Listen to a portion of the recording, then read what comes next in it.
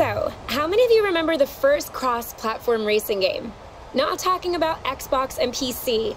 I am talking about uh, Amstrad and Apple, Atari, Amiga, Commodore, and MS DOS. it's time for number eight the Countach and a speed trap. Let's race like it's 1987.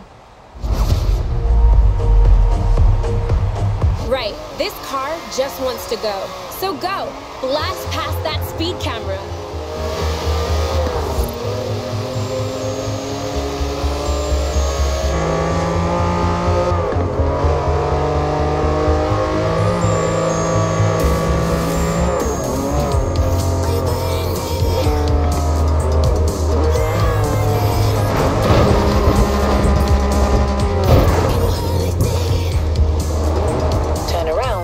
It is safe to do so.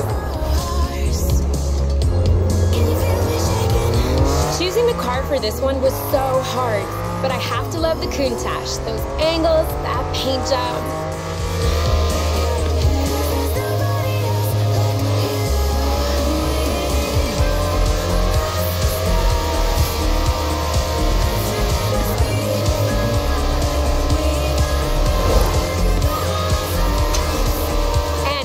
Wrong about it being the first cross-platform racing game, let me know in the comments. Wow, that is beautiful. Bring it back. I want to go.